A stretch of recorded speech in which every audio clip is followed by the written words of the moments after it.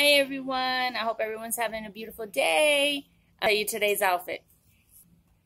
Today's outfit, right, is a $1 top, $1 shoes, the dress I had since I was 15.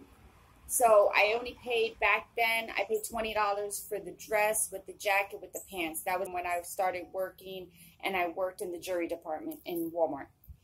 And my purse, I only paid $1. It's the Michael Kors wallet that I put the little chain and everything. You see, you guys, the fraction of the cost, and you can look stylish and cute. If anyone has any questions, feel free to message me. And I so thank you so much for all the subscribers. Thank you for. I'm outside, you guys. Thank you for all the subscribers on my channel. Thank you for subscribing to my YouTube as well. I greatly appreciate each and every one of you. Bye, everyone.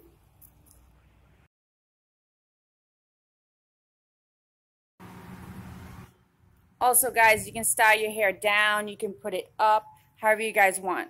And just style it with some earrings. These are my Indian earrings. These are costume jewelry. They're not real or anything like that.